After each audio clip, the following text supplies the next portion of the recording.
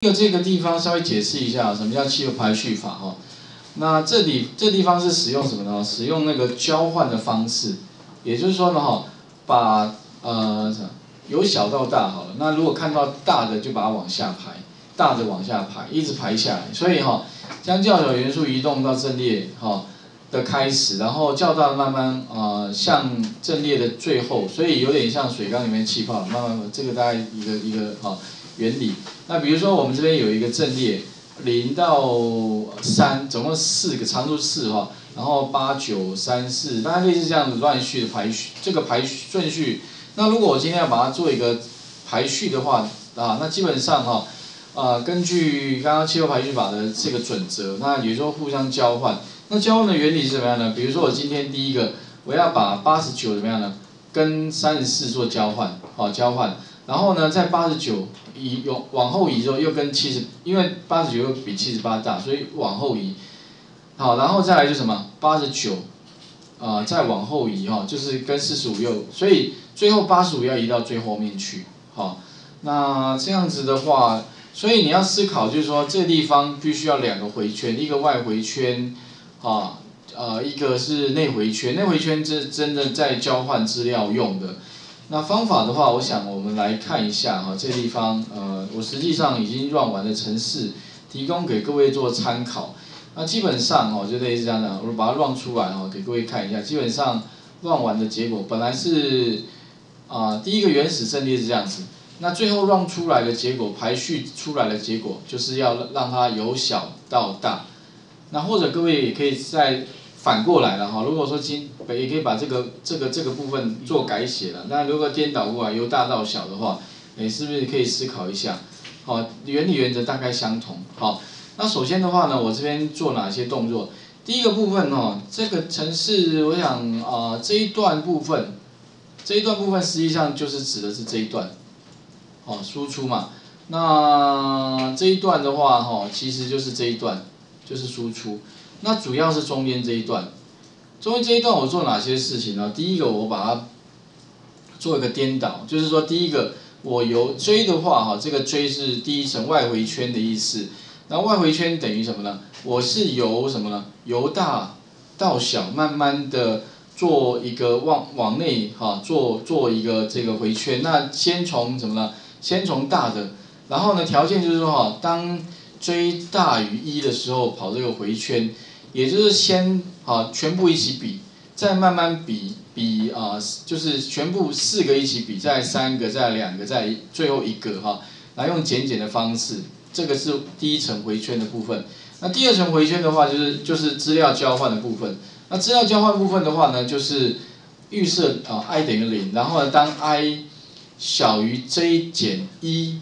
啊，那这里面的话就是呃，我 j j 的值的话哈，总共会有四，总共会有，呃，总共会有长度的话，这个是字这个字字串的长长度部分的话，总共会有四个哈。那我们呃这个编号是零到三哈，那这边加加，其实这样这样看，我把它直接 run 一下给各位看一下，这样会比较清楚啊。我用那个 debug mode 哈 run 给各位看一下，那我的中断点大概是在这里。好，直接执行起来给，各位看一下。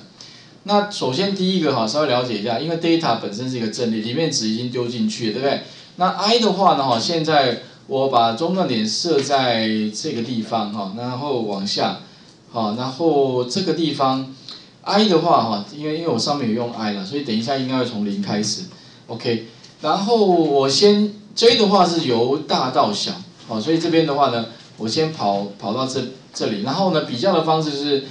如果呢哈加一，哈它小于，就是说前面的这个是 i 现在是等于零哈，现在零，然后加一的话是一。如果呢哈，呃这个前面就是这个零的话，这个零跟这两两个相比较的话，如果前面的大于后面的话，那做什么呢？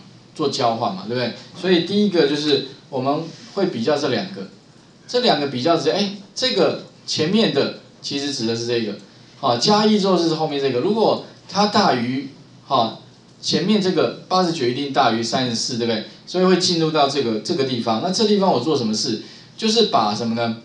把啊交换一下，我这边会增加一个变数叫 temp，就是把什么呢？小的先放在暂存区里面，小的哈，先把它放在暂存，也就是三十四哈，会先把它丢到那个 temp 里面去，好 temp 里面去，然后再把什么呢？把八十九盖过去，这个有没有？把它盖过这个一，这样的话八十九就放在后面，然后三十四再怎么样把它写回去，有没有？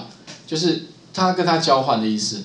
交换完毕之后的话呢，哎，再来跑下面一个，看一下，哎，再来一跟这两个比较，一跟二比较，哎，有没有比较大？有，那就再交换。所以把七十八放在 temp，八十九把七十八盖过去，再把七十八放回去，再一样的方式，八十九跟四十五比较，有没有？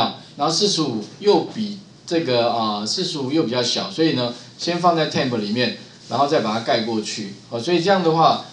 基本上已经排第一次了，可是有有全部排完没有嘛？对不对？所以第一轮的排序我们已经排完，再来的话再回到追第二次的话呢，我们排就不需要从头排，为什么？因为这个八十九一定是最大的，所以呢我们就只要排什么前面三个就好了。对，所以前面三个呢一样排排看，哎，比较一下哦，这第一次三十四七十八没有比较大，所以呢不需要。第二次的话，七十八跟四十五，哎，七十八比较大，所以七十五怎么样呢？啊，七十八就跟四十五交换，所以四十五先放 temp，然后七十八移过来，再把四十五搬回去，对？然后再来比较，所以接下来的话呢，哎，这个七十八已经又最大了，所以不需要再比了，所以往前就是变成这两个比较。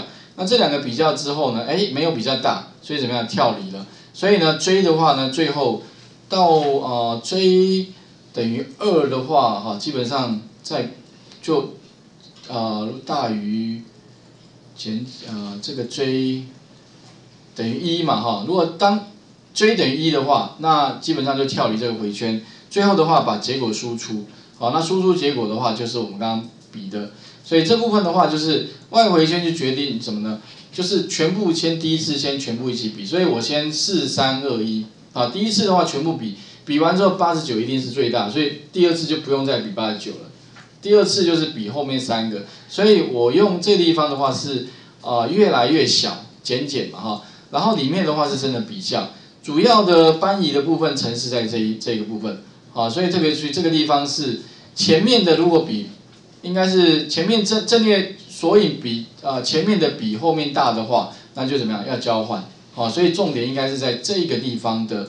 啊，回圈部分哦，我想各位稍微思考一下，因为这个部分的话，前面在那个乐透彩里面也用过，基本上以后都会用到了。你只要有需要做一些资料交换、搬移、比较大小的话，都会用到类似像这样的一个泡沫啊，这个泡沫排序法哈。啊这个画面我已经放上去了，请各位试试看哦，可以把画面先还给各位一下哦。